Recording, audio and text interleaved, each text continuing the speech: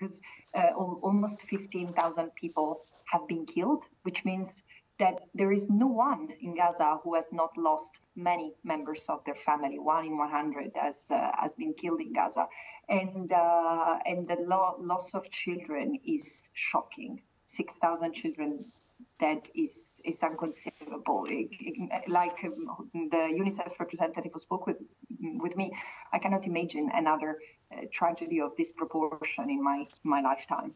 And um, and how can life be rebuilt among all this destruction? Because in Gaza, it won't be even if the hostilities stopped were never, um, I mean, never resumed, which is my hope and what it, what it should happen it will take years to reconstruct Gaza, and all the more it will take probably a generation to heal the trauma because we shall not forget the people in Gaza were already heavily traumatized. The children, 80% of the children had already symptoms of depression before the 7th of October because of the living conditions in Gaza under blockade and after five major wars in, in uh, around 15 years. So the situation is dramatic and needs a lot of good thinking in what's um, what's happening what's happening next. Okay. And there is a huge uh, effort that needs to come from the international community. Looking at your title, the UN Special Rapporteur on the situation of human rights in the Palestinian territories, um, what would your role be right now then in terms of uh, human rights and looking at ensuring that people get the aid that they need? My title is occupied Palestinian territory, and this is the main uh, one of the main issues um, I insist on.